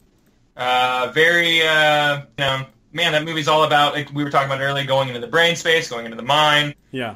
Uh, you know, you have all your robots and your, you know, it's just like, Bleep it's, again, bloops. it's, it's if your bleep bloops and your bling blangs, you know, so while it's not like uh, rooted in our reality, uh, kind of, I guess, uh, or, you know, uh, you know, 'cause it's got the similarities and everything like that, or it follows any sort of real technology or anything like that. I guess the same could be said about Inception and everything as well. Like, it, it's still very much so about building a world and building rules and in those uh, you know having two two worlds that you're talking about and going into simulations and everything like it's a Yeah. you know it's a fucking it's a fucking sci-fi movie I guess you know Oh, it's Um, sci-fi I- as fuck, dude. Are you serious? sci-fi as shit exactly when I was saying earlier like, I accidentally left this off my list you know it was just like dude yeah that movie's got like everything that a sci-fi movie has robots and hmm fucking you know uh, I have a. Uh, uh, it's, I- it's also has like you know, sci-fi is supposed to be kind of a reflection of reality, you know, so it's supposed to have a message, Uh-huh. and like you know, the message here is you know oppression and fighting against the system, and you know, like you know, it's maybe not a message, but it's really more of like the base story and the themes and everything going on there, and that's stuff that we kind of deal with like right now, you know, we don't agree with a lot of the things the way that the system works and everything like that. Uh, now we're not stopping bullets, you know, to to to make a change or anything, but you know, it, there's there's some reflections that could be made from uh, the reality that uh, that we're living in, the reality that's being created in that movie. Did we? Uh, I have a coworker that hates, and we're we should have pushed that, by the way. Oh, really? Oh well. Yeah. Well, Oh, it's my number two as well. So let's just push it. Oh, Well, whoa! who cares? Let's well, I already I already talked about it, so You know what? It's it my- doesn't. It we're going straight to JD one, so anyway. that lines up. yeah, Yeah. yeah, exactly. Yeah. Uh, Yeah. So we're all going to talk Perfect. about how much we fucking adore the Matrix. I think what what sci-fi is to, I mean, to me at least, is like uh, if the science is in it and it's nutty, it needs to be like explained. And it's in the Matrix. It's total. It's fully fucking explained. it's Um, explained. Yeah, totally. there's a whole scene where uh, you're resulted to a battery. Yeah, I mean, there's- exactly. there's See, I have a around there. coworker whose biggest complaint and the reason why he can't get into the movie Oh is because of how ri- how ridiculous and inefficient it would be for sentient machines to use humans as a battery source. And like he, he'll talk about this shit for like five minutes about how ridiculous it is, and I just I, can't I can't even respond to that. Afterwards, I would just be like, "Yeah, but that lobby scene, though." yeah, I know. I mean, like, like how, how, how are you letting how are you letting such a small tidbit affect just even the visuals of this movie and the action sequences? Like, how can you not at least get past your own stupid fucking Such a weird thing to be hung up about. pitch up? Yeah, I've never heard anybody say that. I hope he listens to this episode. By the way, that'd be fucking awesome. Fucking weirdo. Uh, yeah, uh, you're weird. Don't. It's just stop listening to our show at this point. I just fuck. fuck I off. doubt. I Um, doubt he does. He has kids, so he has other shit Oh, to okay, worry good. about. Uh, yeah, fuck you and your kids. You know what? I, you're not going to show them this movie, and it's fault. Yeah, Um, exactly. yeah, dude. The Matrix is, is the one I've watched the most, and it is my number two. It it was my number one for the longest time. Uh, for the longest time, but I had to like kind of better fit the de- from my personal definition of sci-fi. I just wanted to fit it better with something else. Uh, or something I felt qualified more as sci-fi. But yeah, regardless, The Matrix is fucking fantastic. It's all about choice, or as we find out in the sequels, the illusion of choice.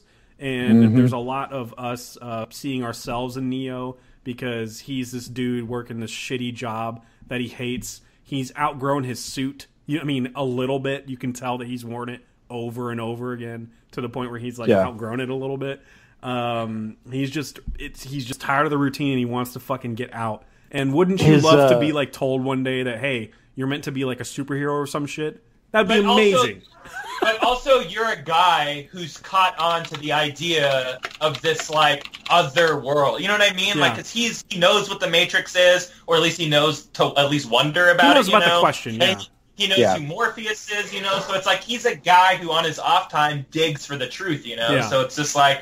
And then, of course, yeah, the big like you end up being this prophecy, and you know we all have that dream. Of that one day course, we're yeah. wake up and have meaning in some way. You Yeah, know? yeah. So Oh, God, there's so it's so good, and a lot of the sci- people will just probably write this off as more action based, but the action doesn't exist without the sci-fi elements. Like Yeah, Totally. The only reason It- action is happening is because they're willing to happen in their minds. Uh, Well, yeah, Right. exactly. They're and they're capable because they've had like the mind training or whatever, you know, Right. and they, they know they know how to bend reality, so you get those cool high jumps and everything like that. Oh, like yeah. it's not just it's not just wire fu for the sake of it. Like it makes sense within the context of the world. Again, which you know we're talking about. We're talking about what makes a sci-fi movie sci-fi to us personally, and whatever. And like for me, it's always world building. 100 percent of the time, world building. Um, you know, so any movie that's just like going to go into depth about like the rules of the universe and like you know, um, you know, different you know, different Mhm. people's you know mindsets on the world and stuff like that. Like that stuff just elevates the immersion for these movies. Yeah. Um, Yeah, the Matrix does that a ton. Like whether they're in the Matrix or out of it. I mean, Morpheus is always explaining something to Neo. Yeah. Uh, uh, you know, he coughs up blood. I thought it wasn't real. Your mind makes it real. Shit like that. It, it's just Yeah. Yeah. throwaway stuff that just works. Uh, and Right. how can it be the one if he's dead? All right. Gotta put the stick in my mouth. If you I know. if you would have told me the truth, I would have told you to show that red pill right up your ass. not like this. I love the. Uh, I love the. Not uh, like this. not like this. What's the shit that they're eating? The uh, the corn Porridge? stuff or whatever. Yeah, Yeah, Yeah. it's only good for Yeah. decreasing engines and killing brain cells. Yeah. Yeah, yeah, Oh, yeah. oh, you're yeah. talking about the drink. Or that- Oh, that's the, drink. yeah. That's right. That's the right. the chicken stuff. He's like, he's like, does does it make it taste Tasty like chicken, wheat? or do I think or tasty wheat? yeah. Yeah, it's like, do I make it taste like chicken because that's what chicken Oh, actually that's tastes a like? great How do I? little aside. That Yeah. that's a that's Yeah. talk about world building. Like that's just the most random Yeah. shit you would never think of in this movie, and they added it on purpose to make you go, Yep. yeah. How do they know what chicken tastes like? Like, it- Yeah, is that why chicken tastes Yeah, like right. everything? You know, like, oh Yeah. my god. Yeah. Wachowskis were so in control of their material for Did, this uh, movie and the way the movie was made. Like, it's just, god damn it, this movie's amazing. It should be my fucking number one. God damn it, Jeff.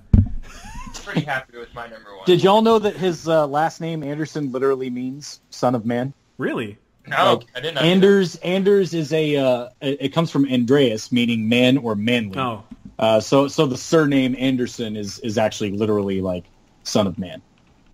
so I looked like if into he went of the, like- if he went by Neo Anderson, he'd be like new Son of Man or something like that. New son of man. Yeah, Basically. exactly. Makes Yeah. sense. Uh, Yeah. of course. It's it, there, there's a lot of I mean they they borrow from a lot of different religions and allegories and stuff from from a lot of different. We uh, should just say fuck the rest of this and just talk about but- the Matrix forever. Uh, we could can do we We that. actually had that podcast. yeah, we did. uh, Canceled it. Hugo Weaving is unbelievable in this movie too. By the way, like Yeah. Oh, for sure. greatest. his the his intonations and stuff, like he is thoroughly like through and through a program. It's the smell. Uh, no, it's not. It's, It's not the until that monologue though that he separates himself from the other programs and he finally gets kind of emotionally involved in his uh, Right. in his mission, where he's like, "I have to get out of here. Uh, I have to get out of this place." And you have the code Zion is the key and shit like that. And he's just like shaking key. him, and Morpheus is like, Yeah. it's fucking hilarious." By the way, yeah, I like that part. I like he's like all that makes. fucking drugged up on something, man. it's great. And then the ridiculous part where Neo shoots the entire thing with a Gatling gun and doesn't hit Morpheus once. It's amazing. Oh Yeah, my god! beautiful. Yeah, what a great shot. Well, he downloaded it, so Matrix. yeah, he, down- he downloaded it. Shoot through that instruction manual pretty goddamn quick, I'll tell you. But yeah, this put Hugo Weaving on the map, dude. Like he was an Australian, just Yeah. a guy, and now he's That and Lord of the Rings, man. well, I mean, this first, uh, but yeah, Lord of the Yeah, Rings that after the and fact. then Lord of the Rings. uh, but yeah, Totes. like oh my god, now this dude's everywhere as bad guy McGee, uh, or even the drunk dad from Hacksaw Ridge that breaks your heart. Um, Mm. He's so good, dude. He's such a great actor. Anyway, that's my number two. JD's number one. Kyle, Yeah. what is your number? Is your number one perchance uh, Dark City? Uh, it is not Dark City. Oh, okay. It is actually. I know a lot of people that love that movie. It's Chappie. Chappie? Oh, that makes sense. Chappie. I am Chappie. Love, God, love me you some know Dev Neil Patel, man. Blomkamp's just three for three with that movie. Jesus, okay. I love the rappers. Die, Die Antwoord was just so fucking good. Sorry. Um, Jesus Christ, that movie is so bad. I really like Neill Blomkamp. Anyway, I do too. Uh, I really like Neill Blomkamp. Uh, Blade Runner is my number one. Oh, okay. You know, when I was sitting down and thinking about my list, I was thinking about like what the what the absolute best you know sci-fi movie is. Like I feel like it had to have been Blade Runner for so many reasons Mhm. because it's the world that we all envision as the future. When you think about like the future, I guess not all. I guess I'm making a really crass general statement, but I, I get that sentiment from whenever other other people make future worlds. It's usually very Blade Runner inspired. Yeah. you know. So it's like there's a collective out there that just like this is the future to us or whatever. It's so inspirational that like neo noir type of like setting or whatever, the shanty towns, the you know buildings on top of buildings on top of buildings, just overpopulation, uh, ro- uh, robot helpers obviously, and all that stuff. You know, flying cop cars, huge Yeah. giant you know neon uh, billboards and everything like that. Like that's the vision that you have of the future when Right. you're thinking about like what the future looks like or, or what our close version of the future could be. Uh, so that kind of tipped it ahead a little bit, and just the, I mean, just how smart this movie is, man. You know, like you, you, you never. I mean, we're still to this day talking about if he's a replicant or not. You know, Yeah. people are pretty passionate about. it. Me being one of them, I kind of shut people off when people are like, "Oh, he's not a replicant." I'm like, "Well, you're stupid." Uh, I'm, I'm, I, I have no clarification that I'm right. I feel it in my heart Well- that I'm right, but you know, and Ridley Scott will say that you know that he's very upfront. Yeah, he's a replicant he- or whatever. Over But clarifies Doesn't uh, doesn't Harrison only- Ford confirm it in the new trailer? Doesn't he say they were hunting us? well, he, he only says us though. We don't know what that means. He Yeah, could I just thought mean Blade that- Runners. I thought, Okay, yeah, okay, I, I took it okay. as Blade Runners, and I have a theory that he is the original that the that the uh, replicant is made off of. Yeah, Okay. I like He's that the theory In the, so in the first movie, like that's that's the replicant, and in this movie, like he's the original, like he's the human that's made. I like after. that theory so much. Man. Oh, That's why he's old and stuff like that, you know. But that's just me Ah. again. That's just me holding on to this replicant theory. And again, Sure. that's my point. To this day, thirty years later, we're arguing about if Yeah. he's a replicant. We're we're we're pulling evidence from all these little scenes, these out of context moments, and going, Right, "This is why right. I know he's a replicant," or "This is why he's not a replicant." You know, like it's a movie that inspires debate all these years later. Yeah, Yeah. Uh, and Harrison Ford was very upfront. I never played the part as a replicant. I don't see myself as a robot. You know, he's Yeah. that's he'll say that. You know, so you have all these conflicting arguments, and also you know Ridley Scott saying doesn't mean anything. Did he write the movie? Was he the writer? no, it was a Hampton something. He wrote he wrote the Yeah. sequel too. Uh, So the else. writer probably has a little more say in you Yeah, know in right. that than the director. does, To be honest, Yeah, the director Uh, so- can always have a conf- conflicting I- idea of their movie, absolutely. of course. Yeah, just because what's on the pages doesn't mean that translates to the eyeball. So, Right. uh, so Speaking yeah, of I mean, eyeballs, it's there's a random eyeball in this movie. There is. A random eyeball. Oh, and Roy Batty in his goddamn monologue at the end.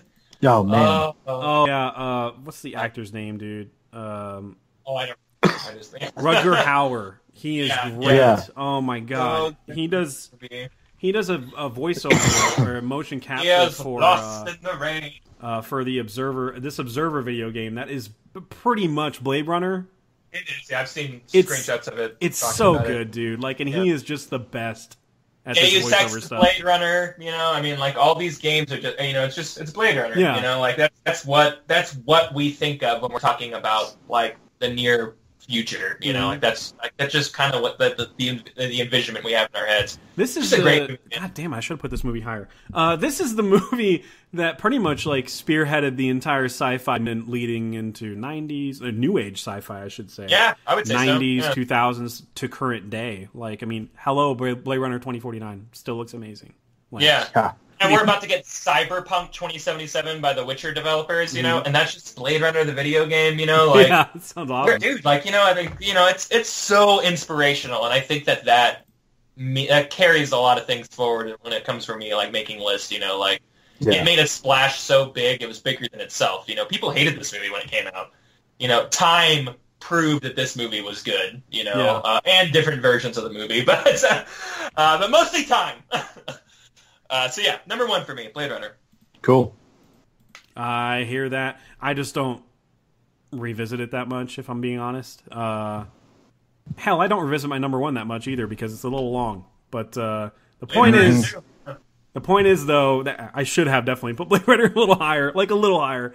But I, I went based on like which ones have I watched the most of and and all stuff, and which ones have stuck with me the most. My number one stuck with me a fuck ton, and that's uh 2001: A Space Odyssey. Oh, and I, what a- I- What a Shocker. boring, What a shocker. boring, boring, Shocker. boring, predictable. so predictable. Loser. Uh, I had the luxury and privilege of seeing this in theaters uh, like a few months ago and having a full on panic attack. It was amazing. nice. Because that ending is like. I've never taken acid before in my life, but I'm pretty sure I was on acid when I saw the, Listen. the Stargate sequence. Allegedly, I know what I'm talking about, and it's a lot like that. Allegedly. okay, cool. Allegedly, yeah. Um, And the whole time I'm just like, why is it not moving to another scene? Why is it still happening? it's just like a whole panic just consumes you, and it's mirrored on on Bowman's face. Like he's even like, "What the fuck is happening?" Just taking in all this information and and whatever that scene's a metaphor for. It's your own interpretation. That's that's what I love about this movie too. Like, is the ending is it's it's definitely what the fuck worthy. It's definitely like a mother slash what's another example of a movie Neon Demon whatever type ending where like it polarized. Like when this came out, people fucking hated this movie like big time. Uh, like even like Woody Allen was like, yeah, I saw the movie the first time and fuck that movie. Like I just fucking hated that movie the first time I saw it. And then you go back and watch it again and you're like, okay, I'm getting new meanings from from this or whatever meanings you attach to certain things that happen in the movie. Um, there's so many videos you can watch online that kind of kind of explain the final act to you, I guess, in terms of the evolution of man. Um, but this is like to me like the quintessential definition of sci-fi, where like it's it's covering the beginning of time and the future. Like so much of it, it's it's insane. It start. I think I made the joke in the last episode where I was like, it started with apes in the first ten minutes, and I was like, the fuck is this? Turn this shit off. I was like, Yeah. When I first saw this movie, or the first time in a long, long, long, long, long, long time, I was like, what the fuck are apes doing in this movie? I only remember the space shit. Yeah, right. yeah. it was like alarming. I don't remember that at all. And uh, I'm watching this. Now, talk about a movie that like you can watch a Blu-ray of and be like, did they film this yesterday?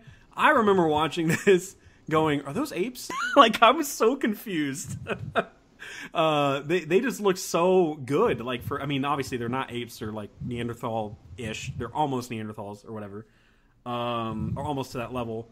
But uh, but yeah, there's a lot happen. There's so much going on for it being like a uh, much like just an operatic like musical piece for a large chunk of it with just space stations floating around and stuff. Um, there's a lot in what's not said, like especially the scene where Hal's being uh, um, taking his revenge on the the sh- the crewmates or whatever. He kills them all basically, except for David Bowman, of course. And he comes in to like disassemble uh, Hal or whatever, disassemble whatever. And uh, the whole time, all you hear is like the dude breathing. He doesn't even say anything. He's just breathing through the suit. And you hear Hal saying stuff like, "Maybe you should take a stress pill and think this over," or whatever. he's like talking with. If he were a human, he would have panic in his voice, like, "Please don't do this," but instead he's just like, "Please don't, please don't," and, and Yeah. stuff like that. It's just brilliant choice by Kubrick there in terms of uh, making the AI emotionless and stuff. Uh, That's a great scene, by the way, because all you hear is the breathing, and when it stops, it's fucking noticeable. Like when it when it cuts off, uh, you and you're taken to whenever Bowman to Jupiter and beyond. Uh, in the final act, you're like, "Oh, he's not doing the breathing thing anymore." Thank God! it's just brilliant sound design. Uh, It's just like a brilliant movie all the way through. Um, it's hard for me to revisit it. That's the only thing that kept The Matrix at my number one for such a long time until I was like, you know what? I don't think modern sci-fi would be what it is without 2001. Everything True. was very pulpy and cheesy up until 2001, um, and just not good. Like it was You are just right. like a we joke. wouldn't have Interstellar without that. Yeah, You are we- right. I mean, there's so much of Interstellar that's like cut and paste from 2001. It's it's Yeah. awesome, uh, Yeah. especially in terms of the practical use of like ships and how they shot the flights of them. Um, Right. How they just use models and stuff. Uh, It's that a was brilliant. fuselage. Um, but it just looked Or good. centrifuge. It's a centrifuge. Uh, what, what was I going to say? Uh, also, Arrival. Uh, the way that uh, Denis Villeneuve shot some sometimes with the way he shot the shell was like shot for shot the way that uh, Kubrick captured the monolith Oh, against the yeah, sunrise, and it was like the exact fucking same shot. And it's just That's crazy, how much crazy. influence this movie has from 1964 or eight or whatever. Uh, and it still like bleeds into sci-fi that we see nowadays. It's just crazy. There'd be no Star Wars without this shit, man. Like, because George Lucas was like, "That's what I want to do. I want to do that in space, but like fantasy and shit." Uh, and and now he this movie gave him the means to do that, like the the special effects to do that. Uh, so that's why that ages well too. So much influence. I that's why I had to be it, like I felt obligated to put it number one. So sorry about that, everybody. Kubrick slut is predictable. Uh, anyway, um, so it's time to put our brackets together. Woo! Here we go. Excuse me. Uh, oh, y'all put it on your list too, though, right? You had Yeah, Kyle it's had on it there. at six. Yeah. Oh yeah. And JD, when did you see it? I don't When remember did I talking s- about this movie with you. When did I see it? Yeah. Dude, I mean, I've, I've watched it a long time ago. Recently rewatched it for our um, shit. I don't remember if I rewatched it for something we did or not. But Oh, okay. I've seen it within the last year. I know that. Um, no, man. I mean, I, I watched that a long ass fucking time ago. I'm not. I'm not new to that. Oh, okay. I'm glad it made y'all's list, man. Like, Yeah, I mean, it's it's the pinnacle of sci-fi. It's just for me. I mean, I, I am I am more biased towards stuff like Interstellar because it's it's newer and I've seen it so many times. And like you said, mm-hmm. with 2001, I I don't I don't feel compelled to watch that every six months or yeah, even a year. it's tough you know, to. oof. It's it's- it's the a, pacing it's tough is a to little swallow. rough, yeah. yeah. It's it's an incredibly long and drawn out movie, but once you get older and you start appreciating things about film, um, and just the way they're made and, and for shot and all that shit, Mm-hmm. that that's really where that movie stands out to me now as an adult. Yeah. And I know, Kyle, this is like a new love for you, right? Absolutely. Yeah. It's probably in my top ten of all time. It's very, Holy very good shit, movie. that's awesome. Yeah, super super. It good. might have. This will upset people. It might have exited my top ten. of all time. Ouch! Wow. Uh, it's sci-fi. Analyzing it from a sci-fi perspective and an overall enjoyability perspective on my top forty films of all time. I mean, we're talking about favorite movies of all time. Mm. It's a little different definition for me, at least. I mean, that's just I don't know. I'm just weird. Anyway, It's my most technical movie on my list. You know, Oh, I thought my I thought my I thought my top ten needed like a really technical like achievement. You know, like Yeah. a movie, Yeah. like a, a, it's a definitely film, that. Yeah. You know what I mean? Like where my list is mostly just a lot of like it's it's a jerk off Kyle list. I mean that's basically what it is. So need a little bit of objectivity on there. Uh, I already have the first three spots filled based on how we have aligned on certain things. Um, so our number ones are accounted for. I put the Matrix at number one because we both. I mean, Kyle and I have it at two. JD has it at one. Okay, okay, Um, I put 2001 at two because uh, only because JD has it one higher than uh, Blade Runner. Like okay, okay. you have it at five, and right, Kyle right, has right, it at right, six. right. Uh, so I put that at two, and then Blade Runner I put at three because I agree. Uh, JD and I have it at six. Uh, I agree. Kyle has it at one, of course. Then it's all a whole fuck fest here, um, because Mm. we have we have such different movies. It's so great. Did we put Well, 2000? Did you say 2001 yet? Yeah, 2001 is number th- Yeah. two. Interstellar Um, Interstellar, where do you have it, Marv. Kyle? Seven. Wow, Seven. I had it at five. Okay, I had I it put- three. Time put that next. Circle. Okay, Let's put Interstellar in here. Or if we want to sneak in Ex Machina before that, I'm fine with that too. Oh yeah, you know what? We should put Ex Machina a little bit because it's a little bit. Uh, Interstellar actually, I think I think is mutually higher. So I'm gonna go Yeah. the next Ex Machina. that's fine. That's fine. Either way, either way, Either way, either way's fine. Either way's either good. way. Either way. Uh, number her. six.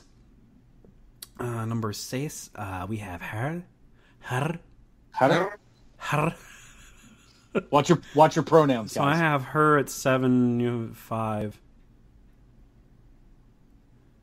Uh, her, yeah, sure. Let's go with them. Her. Sorry, I don't. Zim. Zim Zer her. Zer. Zimzer. I don't know.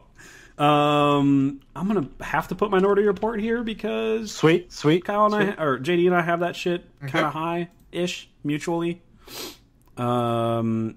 Okay, so Inception. Let's see. Inception both of Inception's you. mutual for us. Yeah. I do want to account for Hans that you guys have that nobody else like. You have Children of Men. JD Oh, and Kyle oh has yeah. Empire. Let's let's get that on there somewhere. Uh, I'm gonna put Inception next though because that's moderately. Commonality.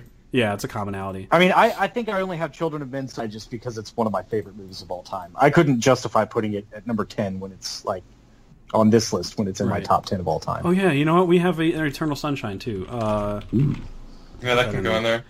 uh, so yeah, now we can do like you know the ones that nobody else has. Uh, Children of Men, shit like that. Uh, Children of Men's two for JD. Empire was three.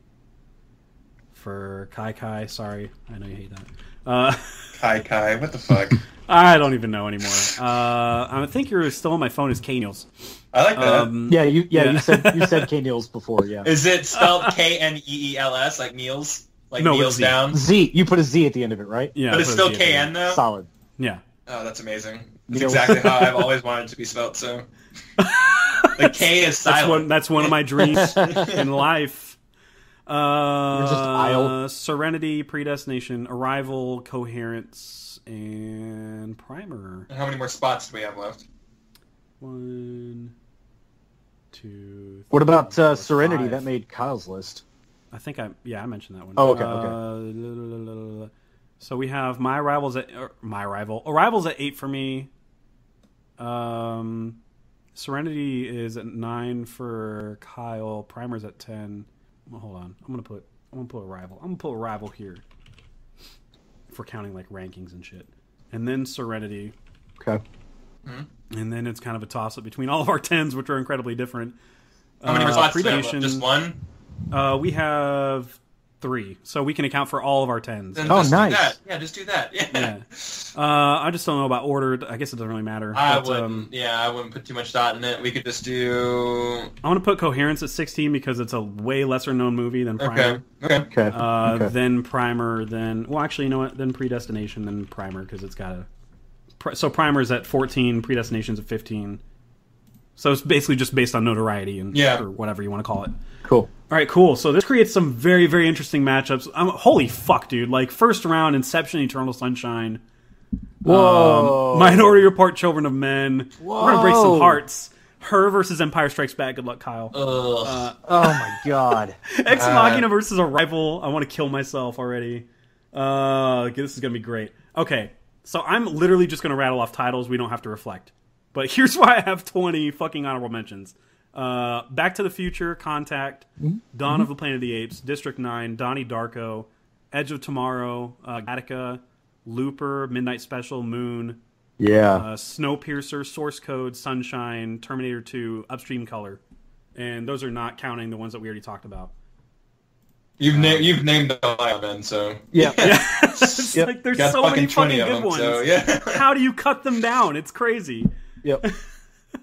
Uh, I almost put people Moon go as my number ten. I almost Same did. Yeah, people need to see here. that one because Uh, I will say uh, Aliens. You know, Aliens is classic. Oh yeah. Oh, yeah. yeah. yeah, yeah. There are aliens on there.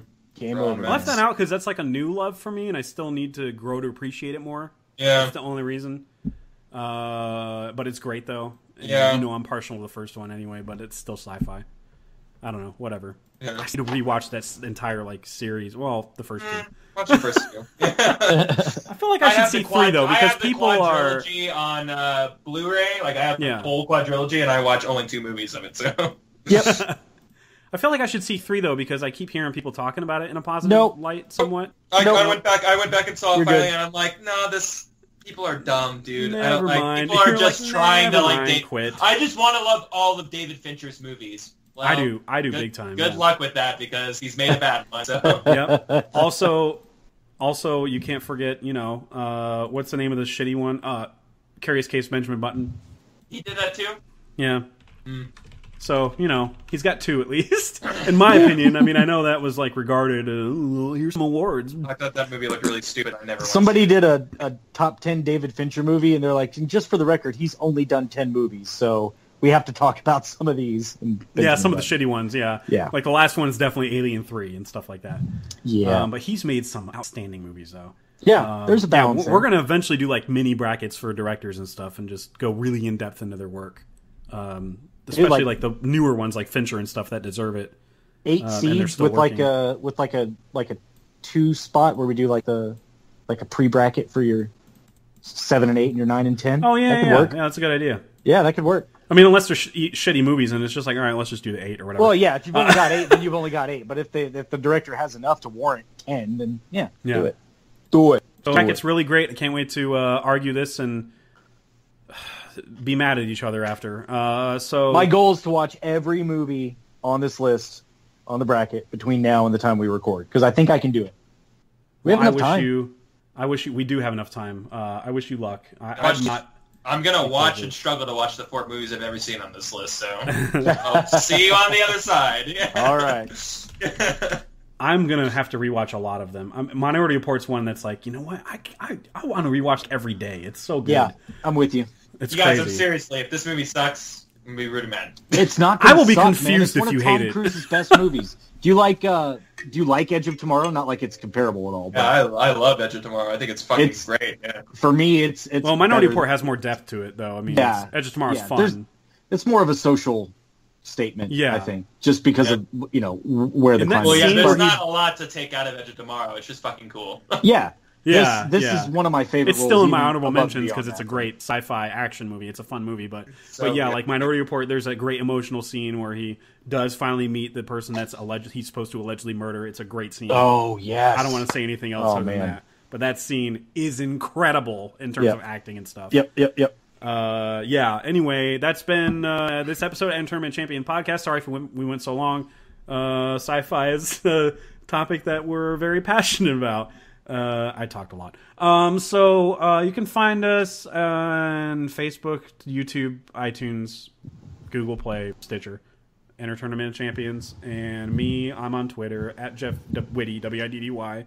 Uh, that's the same name on Letterboxd too, which I'm there all the time. Uh, Kyle is streaming on sub dash culture. Well, and you write on sub dash culture.com. Yeah, Uh, sub underscore culture to Twitch, right? Yeah, That's something like where you stream sometimes That seems right.